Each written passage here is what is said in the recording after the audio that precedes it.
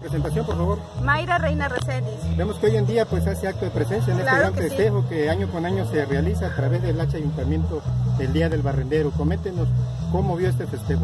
Pues aquí compartiendo con todos los compañeros de saneamiento básico, los, los que hacen el servicio duro de Acapulco, los más este, solidarios y los que menos han remunerados y sobre todo reconocidos.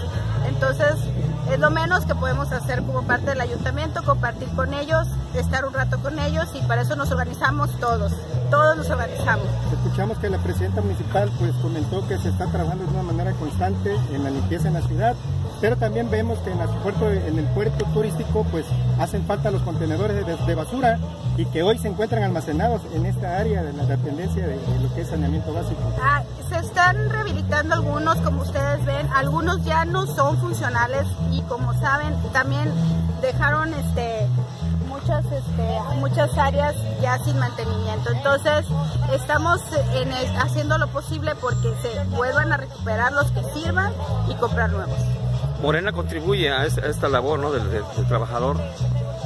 Claro, ahorita lo acaba de decir la licenciada, se van a revisar los casos de supernumerarios que tienen 20, 25 años, 30 años y que no han tenido base, pero sí cada, cada caso en especial se va a hacer una mesa de trabajo, lo acaba de anunciar y estamos trabajando para ello. ¿El trabajo? Pues felicidades a todos los compañeros barrenderos, esperamos que, que la sociedad que reconozcan su labor, eso es lo importante. Gracias a todos y saludos.